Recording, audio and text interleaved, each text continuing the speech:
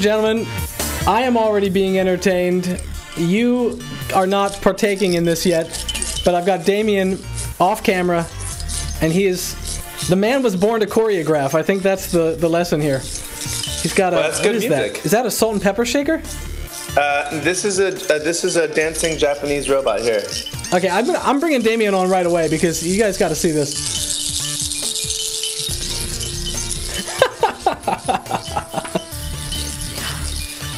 This, You know- this, this hap- you were playing music that uh, this happened to be sitting behind me on my on my this is you know I don't know this is where the, the toys and some of the bottles of booze I guess are and um I don't know it looked like it wanted to dance. I also have a uh, I have a I have a donkey that jumps. Hold on, watch this one. Oh, th- I didn't I, I didn't even realize it was set up in the in the in the play area. that's like the uh, the hydraulic car, the lowriders, right? But the donkey form. Yeah. Yeah, I think it was probably actually meant to be a political. I think it was probably a Democrat donkey, but I'm not sure. Uh huh. I could see it. There's a lot. I mean, we, there's a lot of toys around here. I, I, I figured we were probably going to talk about music and stuff, but but I mean, I got. You want to do toys? Got We'll do toys. This I- top, I I can spin this top here. We'll just I'll start this top now, and we'll just see how long in the interview it takes before it Oh, stops. sweet. Okay. Well, here's what we'll do: we'll it's spin the top, powerful. and I'll uh, I'll give people a little information Sounds good. while it spins. Okay, cool. So, guys, uh, welcome. Uh, we're kind of off and running here, but I did want to tell you uh, if you're new to joining us, uh, we have a thing that we're doing every night. We play music from you guys that you send to us via uh, Twitter or via Facebook. We have a hashtag called MMM Prop Songs, and if you tweet your music, a link to SoundCloud with that hashtag, I check that every day. I pick something every day and I put I put it up. So send us your music because that's great. it's great, Damian. Okay, this is actually it helps me wrap up faster. oh yeah, top in the house. It's going to Uh, be going for like 15 minutes, so you. Oh wow. Okay. Uh, and the other thing I wanted to tell you guys is if you have a question for Damian, uh, go ahead and put the word question in all caps in the chat, and it'll help me kind of hone in on it. But anyway, I didn't realize it kind of makes a lot of noise, though, doesn't it? Can you hear it going? I do. Yes. Yes. you want me to stop it? Is it screwing up our whole scene? I suppose it. All right. It does take away some element of our uh, of the No, excitement, though. but we'll add that back. We'll we'll amp it back in. it's not even it's not even begun to slow down this thing. Ah, it's a, it's a really powerful top. Anyways, sorry, It's- sorry. it's I'm almost really- sad we've- you- we've You're really professional about this, and I'm being really unprofessional. No, this. I- I- that's quite fine. I can be. Uh, uh, I think uh, what I always I've done uh, half a month of these, right? So I'm I'm two weeks into my tenure as a webcaster, and uh, Mm-hmm. my favorite ones are the ones that are just casual hangouts. So, you know, I can just hang out and then you know forget about the chat room. No, kidding. So listen, man. You, chatsters. That's right. Um, thanks for joining us. Let me just start Thanks. off by saying thank you so much. And um, I, you know, we are uh, thrilled beyond words to, to have you, not just to have you uh, in our chat room tonight, but to have you essentially in our user community uh, as as a broader world. I'm a big I'm a big big fan of, of Propellerhead. There's a there um, reason reason totally changed the way we uh, we can work because I can I can actually write things on airplanes now. It's great. Aha, right. I, I, I want to talk to you about all of this, but I think that it would be remiss of me if we didn't um, sort of. I, you know, I have this in- interesting opportunity to talk to all you guys and sort of uh, pick your brains about how you got where you got and, and, and why you do things the way you do. And I think the the biggest thing about you guys, obviously, is your video success, your viral video success. And and you know, you wrote an op-ed uh, in in, a, in the newspaper, and you began the piece. The first sentence was, "My band makes videos," or something something to that effect. I think I'm paraphrasing a little bit, but it's a very simple declarative statement. And I thought, uh, well, that sums it up, right? Yeah, well, we're pretty well known for our videos. It's true. I um, uh, it's you know I, I spend a lot of time doing interviews, and it's so it, it's it's funny how often I have to sort of like um, you know people ask if I'm worried that the videos are somehow overtaking the music or something, as if as if people who wake up in the morning making stuff w- worry about the categories for it. You know, um, like. I, I, I, love I love writing songs. I love recording songs. I love making albums. I love putting putting on rock shows. I love playing with my rock band, and I love making videos. You know, there's no. Um, and to you, it's, it's, all just creative outlet. Yeah, and there's no. I mean, there's sort of the the idea that. Um, that I would be doing this, or any of us would be doing this, so that we could check off the boxes that our parents or our grandparents' generations had had, had set out for us is ridiculous. You know, um, there. I feel you know we, we sort of all live in this world. I mean, here we are, we like in digital space. This is we are making ones and zeros right now, and everyone I know in the creative world basically does that. You know, like whether it, architects make ones and zeros. They do eventually become buildings if they're you know if they're lucky enough and, and successful enough. Um, and you know, uh, journalists make ones and zeros, and and musicians and and dancers and every, I mean it's like everything lives in digital space. We all live in digital space, and the idea that we should respect these boundaries that existed because of formats in a, of a different time. You know, like sound recordings were one thing and films were one thing, and you know everything sort of had its box. Like I, am not excuse me. Gesundheit.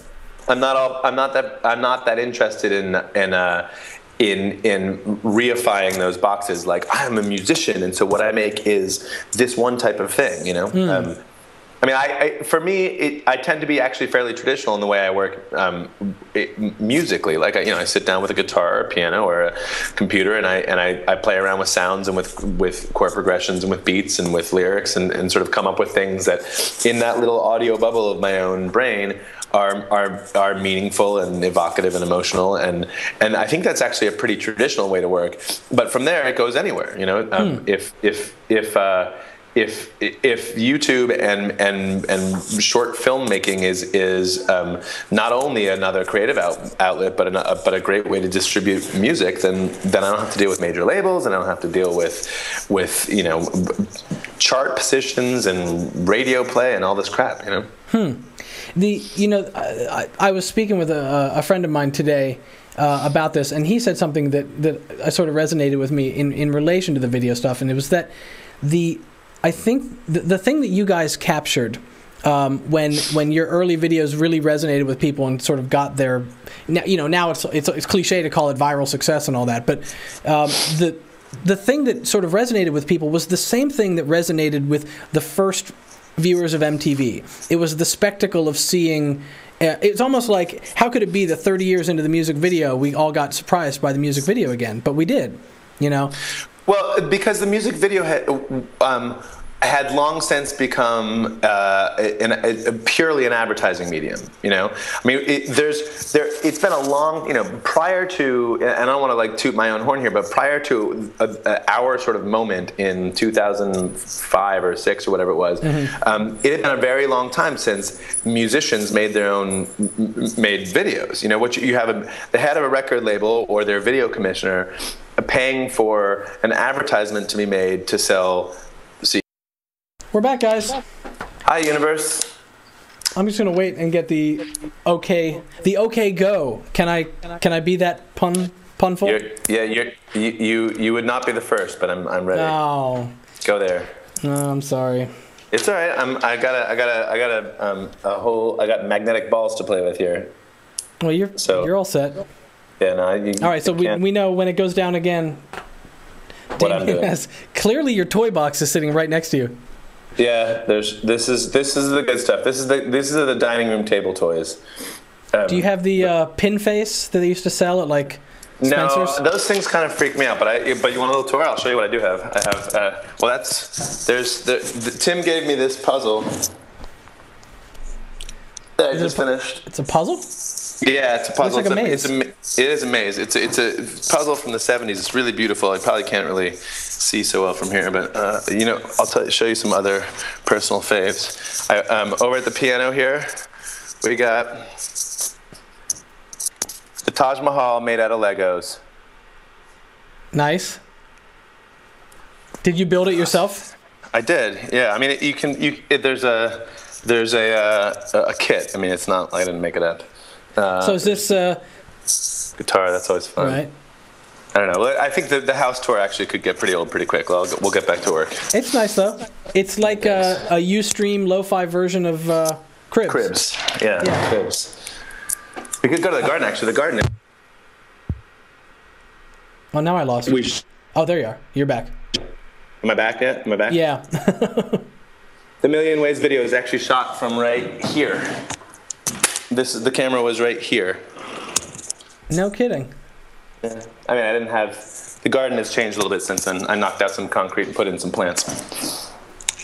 Well, see, that, look, you see, you thought the the house tour was getting boring, and now we got a little. Uh, It's a segue back into video land. yeah, right, right.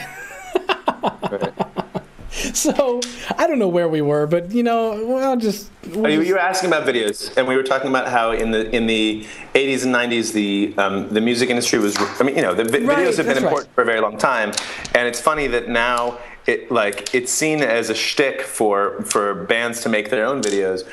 Like it, it, it was it was totally cool to have your success completely based on the fact that that you know a, a uh, Hollywood director had had been paid you know, two million dollars to make a giant video for you, and that was a success. But if you make your own videos, like that's a shtick. You know, it's a it's a it's a it's a it's a funny moment in in in in video and and sort of like art making universes because everything is kind of collapsing. You know, you've got. Um, there's no we don't need the the the categories that the old system used um, were based on the uh, sort of like the uh, distribution and um, uh, it, it, logistical needs of those categories. You know, I mean, like you, you're a musician and you want people to hear your music, and there's these recording technologies. So, uh, like, up comes a giant system of distribution for for making you know, seven-inch records and eventually 12-inch records, and and distributing them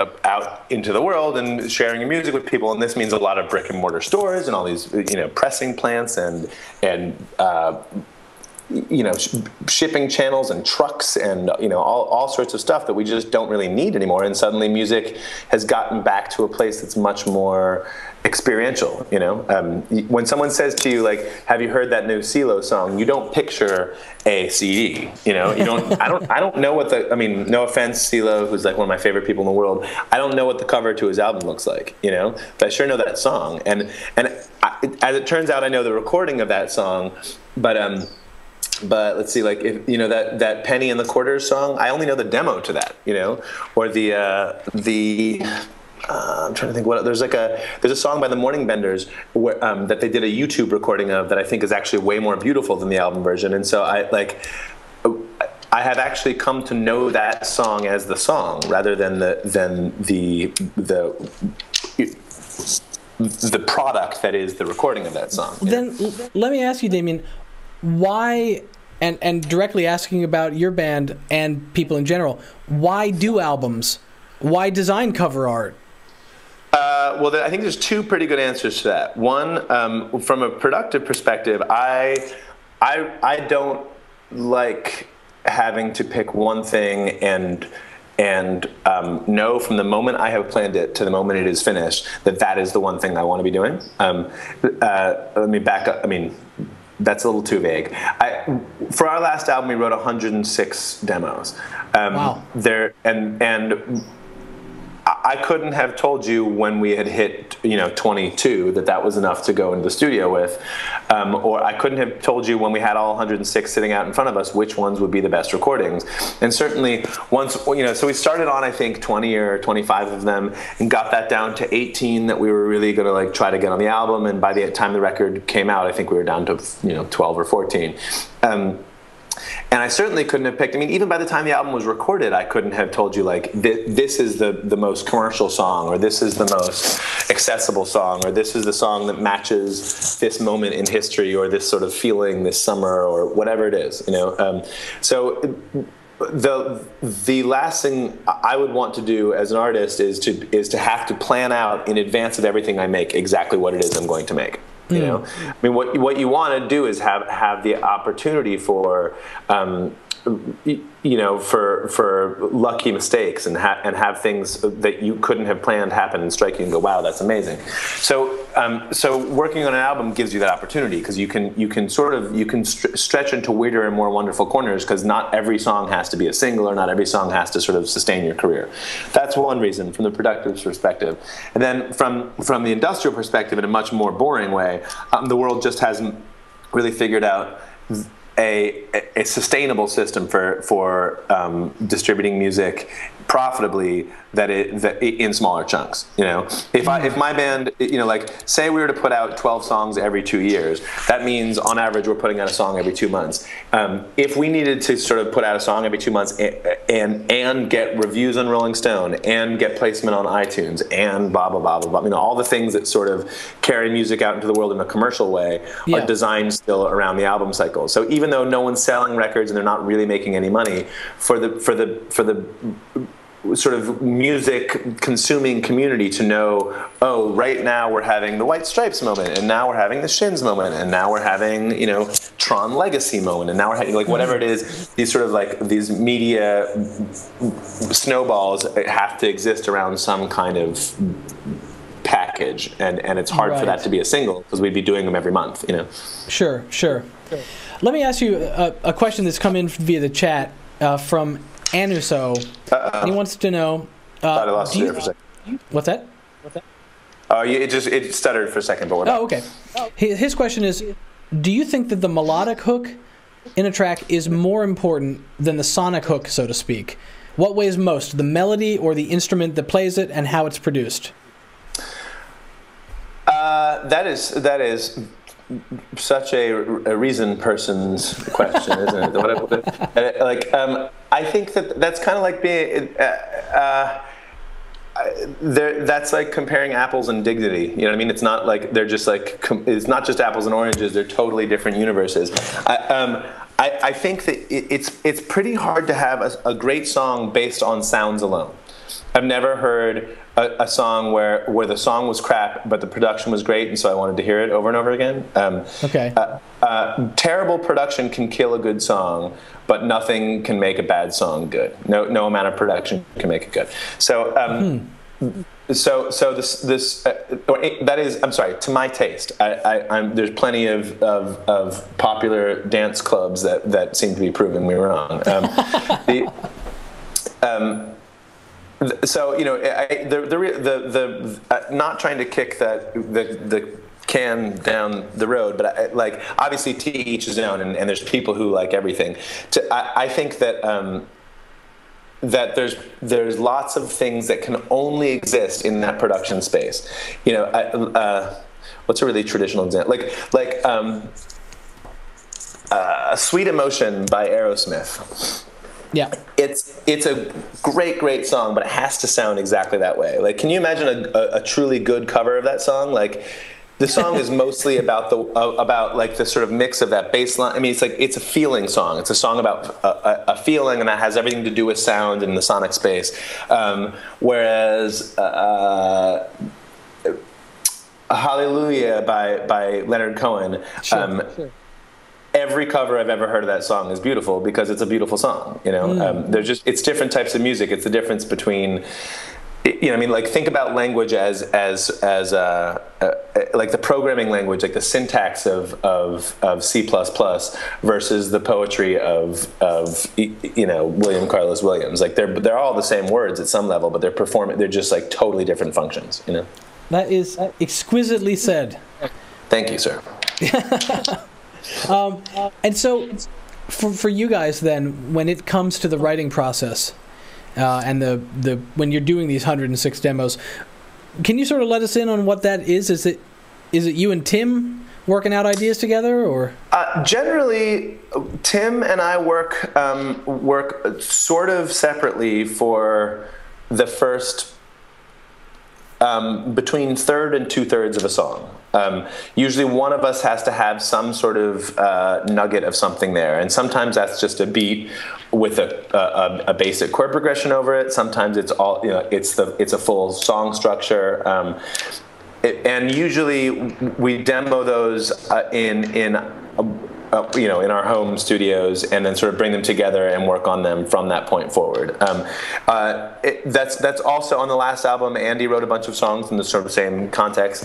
Um, then when we go to the studio, uh, you know, or sorry, when, when, when we went to record our last album, and, and I guess the two records before that, actually getting into a professional studio with a producer and and a sort of a, a, a working structure and schedule sort of put, sets us. We stop being the kind of um, tinkerers and engineers of it and become and and kind of watch it like work it from a, a, broader angle where we can be more uh, where we can respond more creatively to the whole thing rather than build it piece by piece. I'm not sure if that's too vague of an answer, but um, it, it is it is a very solo project for the first half-ish of a song, and then very collaborative for the second half-ish. I see. And, and do you end up almost sort of just pitching your songs and the, may the best song win?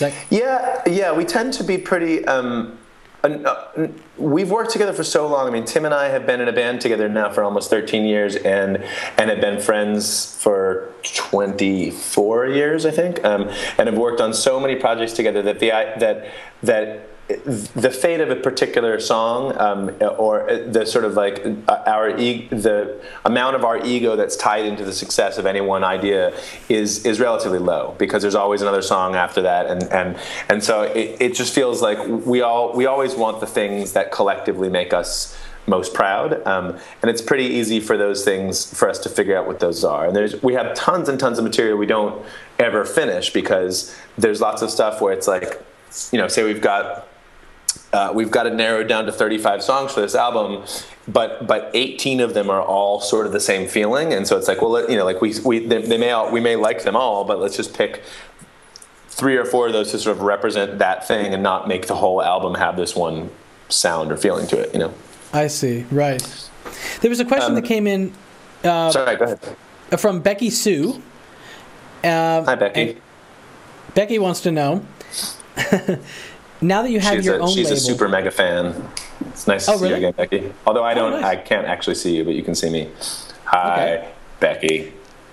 Um, so Becky wants to know now that you have your own label, are you finding it easier, harder, more expensive to get into a studio to track a new album?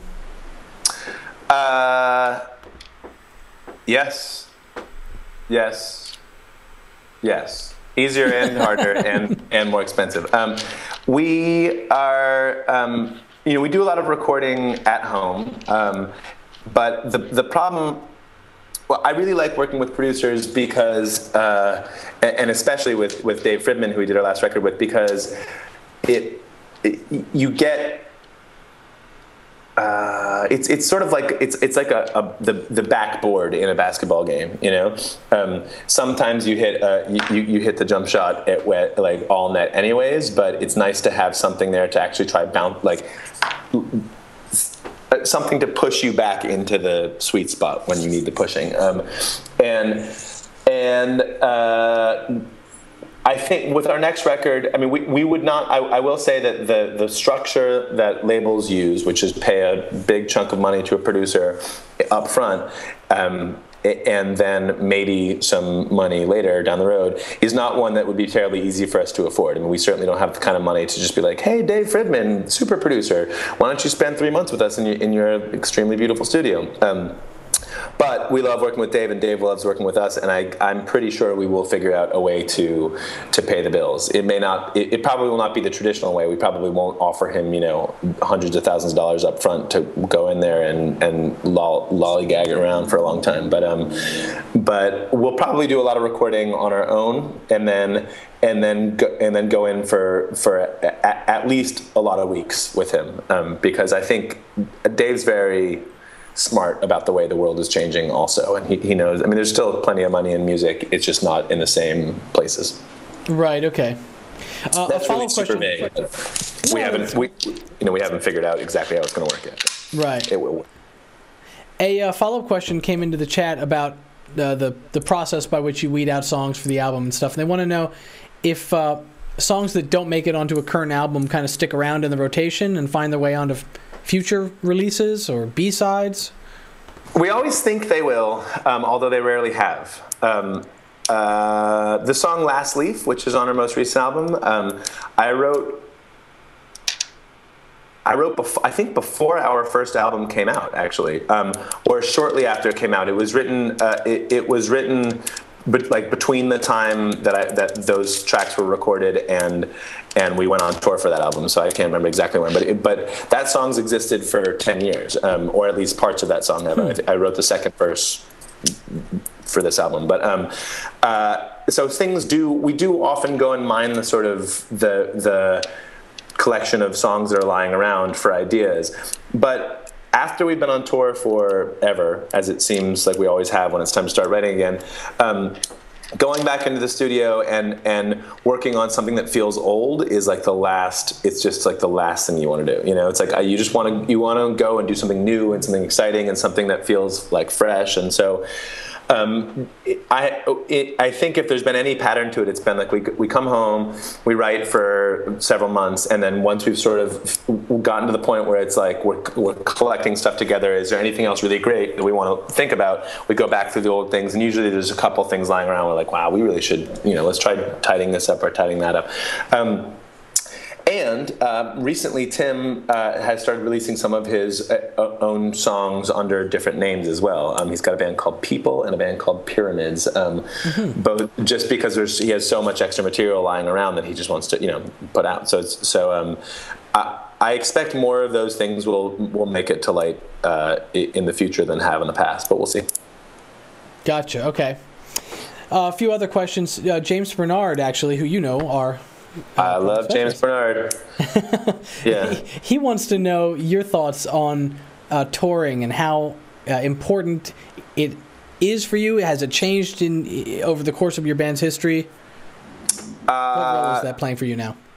Well, my band's my band's uh, relationship to touring, in fact, my band's relationship to everything for most of our career had been just like um, uh, do everything, everything, everything, everything, everything. You know, like there's uh, uh, having an opportunity to make the things you love for a living is so rare and um, and and so sought after that that it just seems to stand to reason like you have you have to do every you have to take every possible opportunity because they're all such long shots, right? So. Mm. Um, so so touring was always kind of that way. It was like if there's an opportunity for a show, we better play it. You know, if there if there are people out there who we could be um, we we could be playing our music for, we should be playing it for them. If there's if there is like pavement pounding we can do to make more fans, we should be doing it. Um, having said that, I think uh, touring has never made much money for us. Um, we're at the point now where we don't lose money touring, um,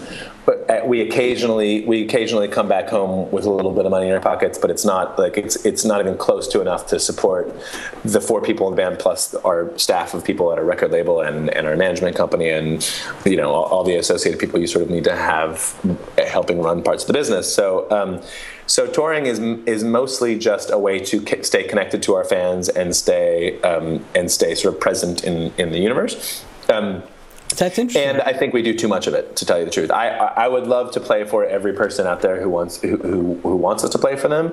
Um, but last year we played 180 shows, and and hmm. and that wasn't even our most heavy touring year. Um, and that means about 10 months on the road, which means uh, almost zero time for writing new music or having a, a personal life or feeding my dogs. Wow.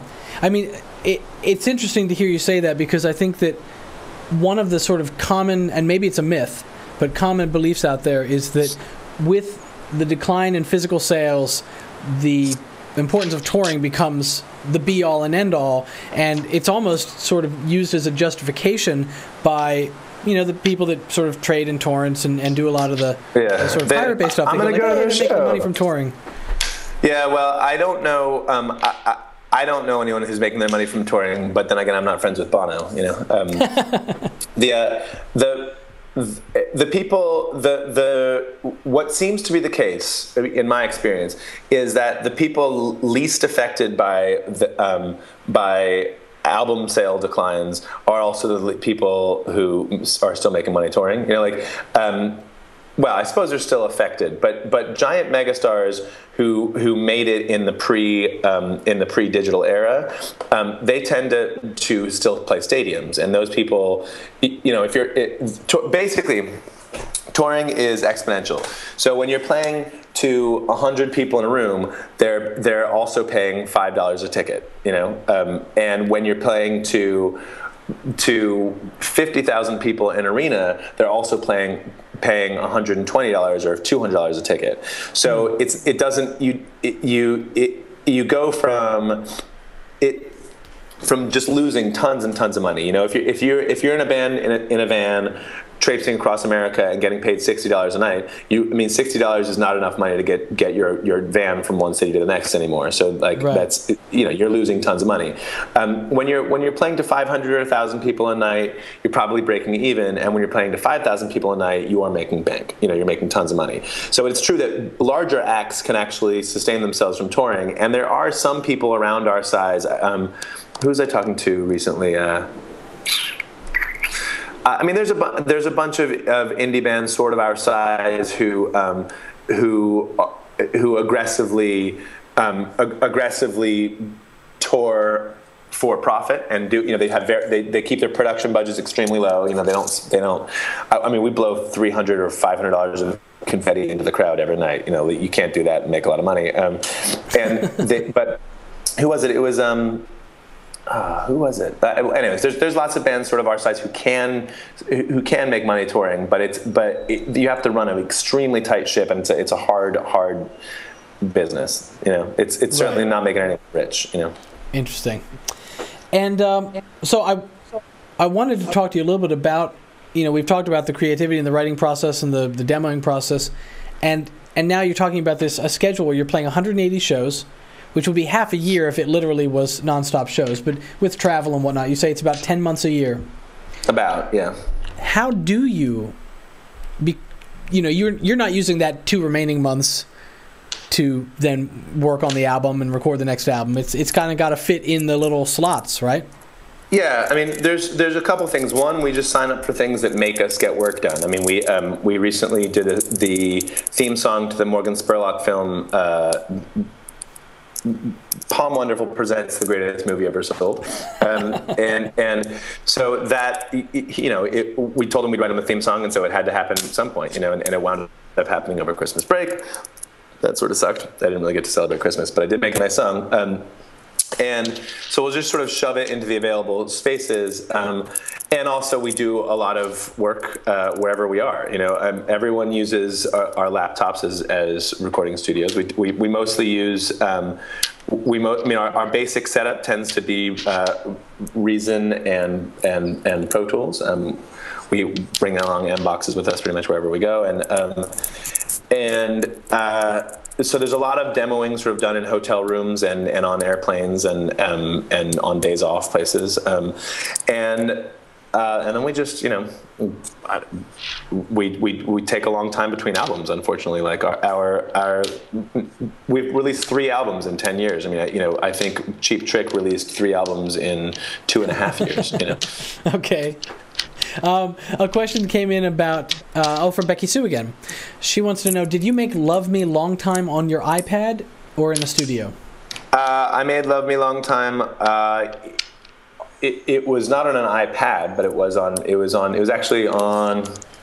Yeah, it was on this laptop, the one that I'm now speaking to you from. Um, I was in New York, and uh, did I? Well, I'm trying to remember what I used for drums. I mean, it was all. Um, it, it's a, it was a song done for a, um, a, a an NPR spoof on on April Fool's Day, they they um, did a they did a piece about the slow internet movement, which of course doesn't exist, but it was a it's a joke about uh, sort of making fun of this like slow food movement and all that kind of stuff. People who who, who were doing dial-up internet um, because they felt like it was a more real connection to the universe. And so I made I made a really sort of like cheesy '90s '90s hip hop beat with using a um, using the dial tone. I mean, sorry, the dial-up sound, uh, and yeah, it was done. It was done in, in Reason and in and in Pro Tools um, on this laptop.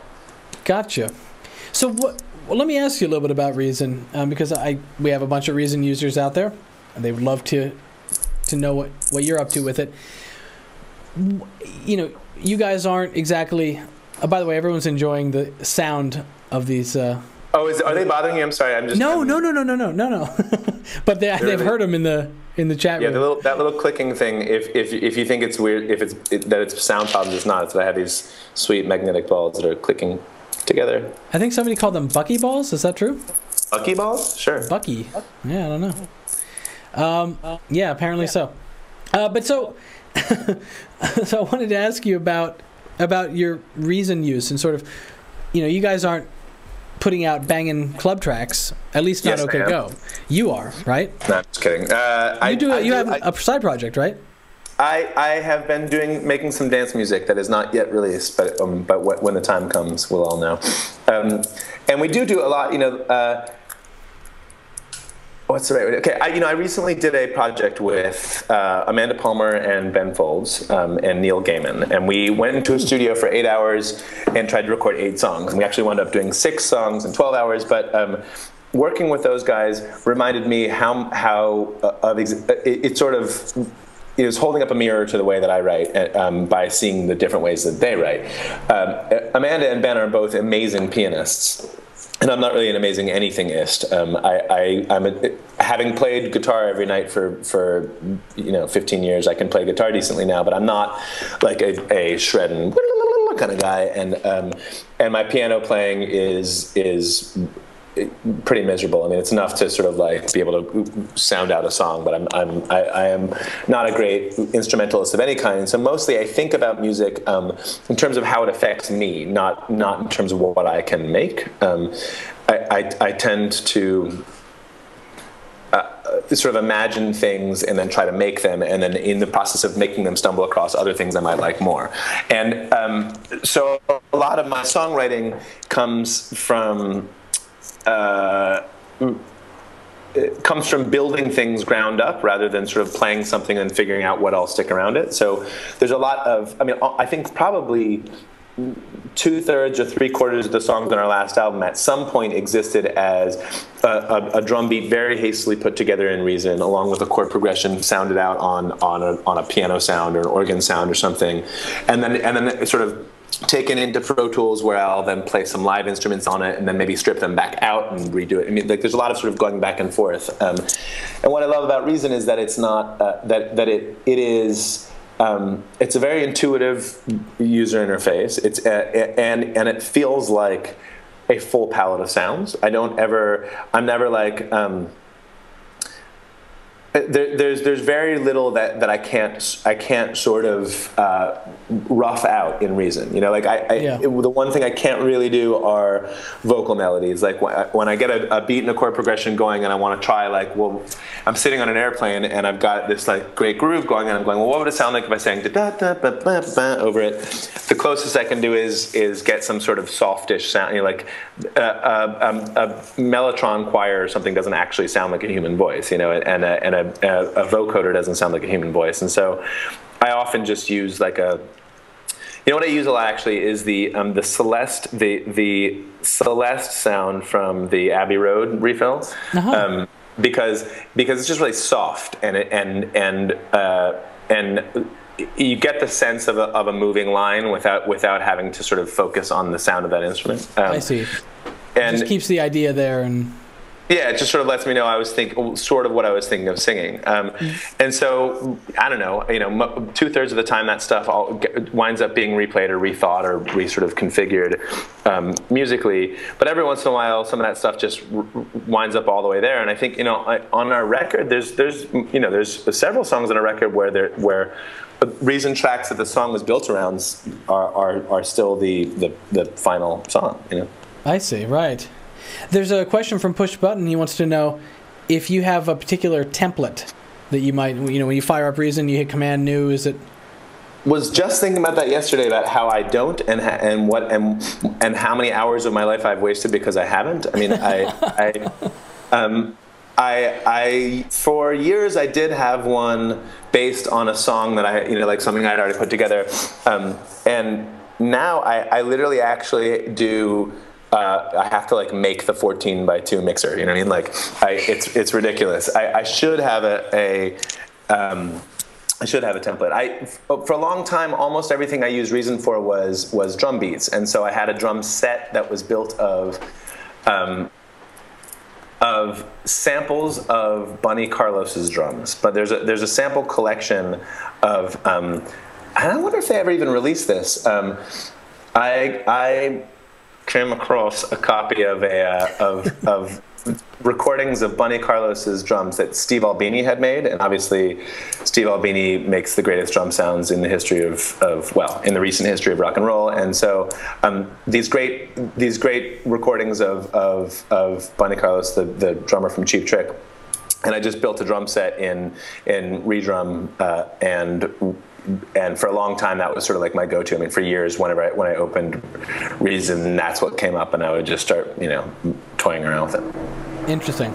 Um, John Callahan wants John. to know if you have a favorite refill. Uh, I, my favorite. I mean, I bang bang for the time buck. I mean, not not not price, but the amount of time it takes looking for the sound. Um, mm-hmm. uh, the um, Abbey Road one. The uh, there's you know the Abbey Road refill is great because it's only it's just it's like it whatever what is six? Sorry dog here hold on. Um, the uh, there's six there are six or eight uh, dogs there's six or eight instruments, in, um, you know, main main instruments sampled in that Abbey Road refill, and they're all just like just really basic studio instruments that I that I that I use a lot, and they all sound great, and you can get any like you know you can kind of get any any recorded sound out of them because they're recorded in so many ways. Um, and you know, I find that in general, um, for the for the for the things that I use Reason for, which is sort of like it's kind of like my digital orchestra. You know, it's like I, I can you imagine a violin a violin line, then you can program a violin line, and you can you imagine a, a trumpet line, you can program a trumpet line. You're like, I want this drum fill, I can basically program that drum fill. Um, for those things, what's important is is not going down the rabbit hole of, of sounds. And I, being a perfectionist, I tend to love going down rabbit holes. And I'm like, oh, but this sounds a little bit better, and that sounds a little bit better. So what I like is are tools and refills where I can get to a uh, to something that makes me feel creative quickly. Um, right. I, a, a, a, example from my history. I, I, when I went to college, I um, I learned how to use the Kurzweil K2000 and then later the uh-huh. Kurzweil K2500, and I could program that thing inside and out. And I and and it, the user interface on that was miserable, but extremely, mm-hmm. extremely powerful, and you could sort of make anything with it. Um, and I. That's a great module. Hours, yeah, they're amazing, and and I and I spent I spent you know hours of my life, weeks of my life learning how to use it, and I got really good at it. And for a long time, it sort of defined what I made. Um, and for years thereafter, I remember trying trying to always get tools that were like the the best tool, you know, the thing that was most powerful and that could do the most things, and realized uh, um, a little later that that what mattered to me was things that made me creative. Um, that when the user interface of something gets you excited and gets you thinking musically quickly, that's what you're going to get great music out of. It doesn't matter if you know, like having a better preamp that can make a better, that, that can like you know that, that can make people think they're listening to a Fairchild across your drums isn't going to matter if you don't have a good song. So, um, so, so I tend to look for things that that are um, instead of being all inclusive and encyclopedic, are, are already sort of great selections. You know, um, I find electromechanical, the electromechanical refill is also really good that way because, you know, it's like you, you don't get stuck there listening to you know the the 85 different piano sounds. You just, you know, like for me, I need like a tack piano and a and a a, a grand piano and uh, you know a Whirly and a Rhodes and and from from there like after that I don't need other keyboards you know like right. or I, then I move into synths and I need to be able to put like I need to be able to do a, a, a saw wave and I need to be able to do a sine wave and I need then maybe 10 or 12 bass sounds that somebody else has already made that are kind of cool so I can play with. And when, when it gets down to like actually producing the track, then I'll get really anal about the things. But there's no point in spending that time uh, before you've got a real song, you know? Yeah, right, sure. You sort of get tied into the minutia before the basic yeah, ideas I, even out. There's there's a um, when we were recording a record with Tore Johansson in Sweden, um, his his top engineers had a great term, which was fly fucking. Um, if you, it's I, I, I believe it is worth fly fucking um, towards the end of a track. You know, when you've got something that you know is great, um, and and and you really want to get it, it you want to let it speak the most it possibly can. Then by all means, listen to you know 150 slight variations of the of the of the synthesizer patch you want if, if you think that's going to make it better but if you're doing that right after you've come up with the with the, with the drum beat and you're trying to you're trying to get that timbre to actually make your sound your song good you Hmm. um, you're, just, you're just wasting your time by the, by the time you have found what you the, the sound you want you will have lost perspective and you won't know what's good what, what's a good or bad song anymore anyways Wow. Wow. I think that's excellent advice. And, and you know, one of the recurrent themes this month that keeps coming up is, these sort of ways to break out of writer's block or ways to sort of not get bogged down in the, the, the details and stay creative. And I, I've, I'm not. I haven't been ceased to be amazed with the fact that everybody we've spoken to has different advice on that, but it all sort of has turned into this sum total of very great advice for the people that out there that are, you know, working on that timbre instead of the song.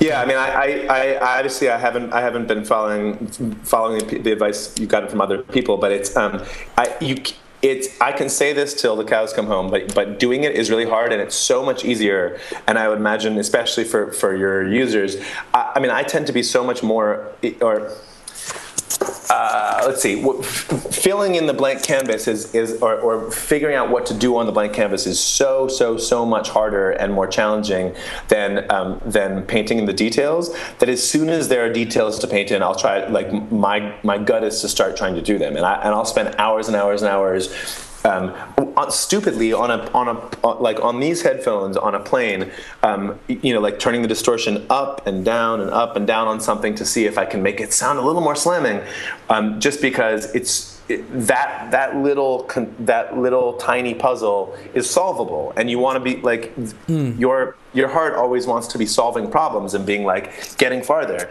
but it's not an important puzzle to solve, and in fact, you won't.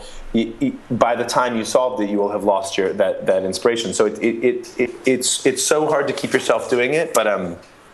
But keeping yourself focused on the forest, and not the trees, is the is the only thing to songwriting. And and I think um, wait, there was a oh, oh yeah rules. Like uh, giving yourself um, uh, like trying tr- trying to do uh, basically writing etudes you know like write a one chord song and don't let yourself not write a one chord song you know?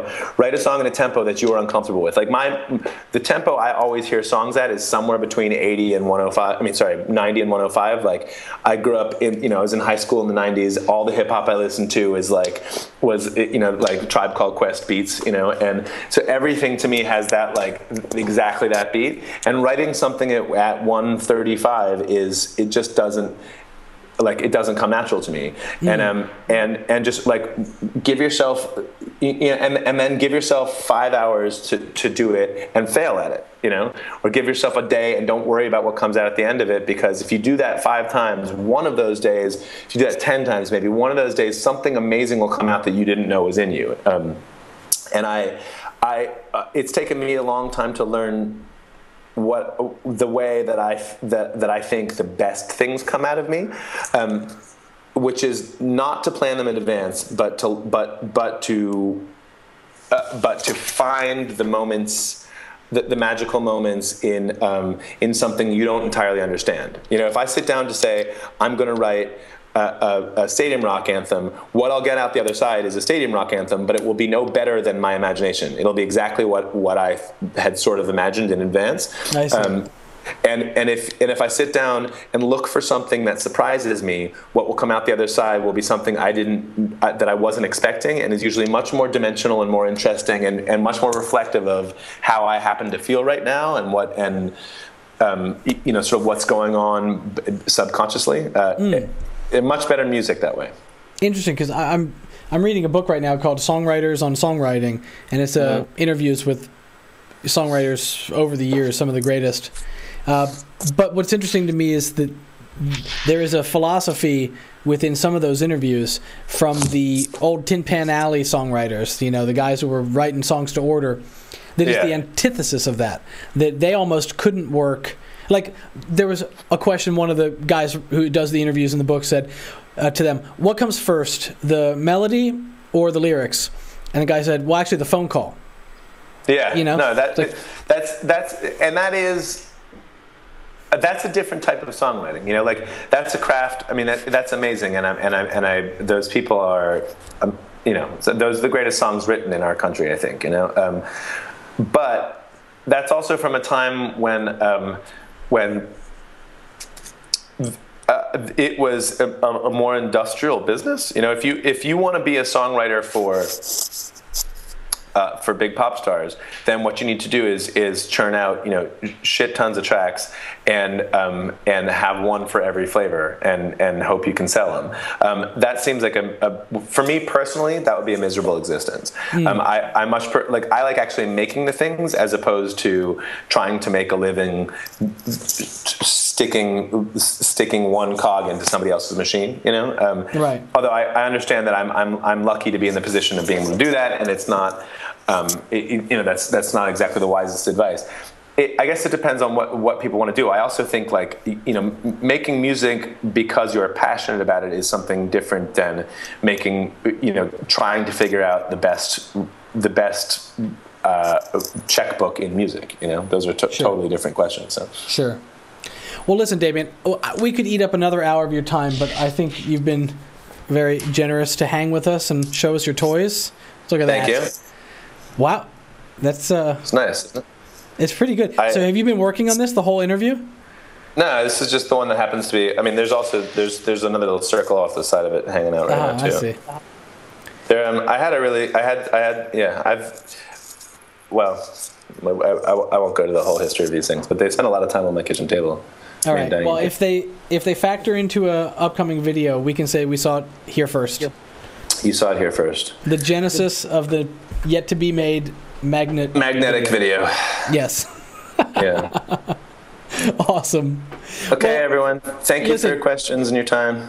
Yeah, thank you so much, and uh, everybody. Uh, you know get out there and uh, give your continued support to OK Go. And you really don't need my plug, do you? I'm not. I'm not about to sort of. Maybe. I, I am a tastemaker, you know. You are a tastemaker, and I would imagine. I'm guessing that people watching this right now are actually all all um, pretty awesome musicians. I, I, suspect the people who are who are deeply involved with the, the production forums are the people I would actually want on my side in the first place. So, uh, hi guys. Yeah, we got a, we got a great community and they've been a, a, lot of regulars that have been coming for all these events in Music Making Month. So I'm getting to know them all by their handles very well. So, well, awesome, awesome, Damian. Nice thanks so much. Bye bye. And uh, we will see you later. See you. So that does it for us. Uh, tune in tomorrow. We have another event that was a late addition to our schedule tomorrow. We're going to be talking with uh, two guys from Nimbit. Nimbit's a music marketing website, and they're sort of a um, I guess in a way they're a one-stop shopping kind of operation. So they do uh, direct sales, they do um, uh, email mailings, they track metrics at your shows, and they can sort of help you target regions that you're doing well to tour and so It's it's a whole thing. They got a whole platform, and they're going to tell you all about it. It's pretty cool.